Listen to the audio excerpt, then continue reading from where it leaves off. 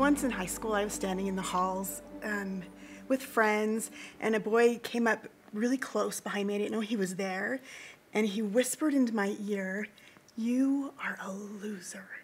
And just the way that he said it, and me not knowing he was there, it just sort of like penetrated me in a really weird way.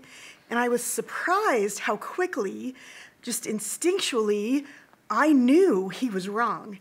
And my soul just said, No, you are a daughter of God. And I thought, um, I feel like that is something that, in a small way, all through my life, I have felt Him saying to me, You're valuable to me, you matter to me, you have potential. And that helps me with every decision and every hard thing I go through, just that steady feeling that I matter to Him, and that's who I am. I'm His. That is one of the most beautiful experiences I've ever heard. That is wonderful. Melissa, really, that's powerful.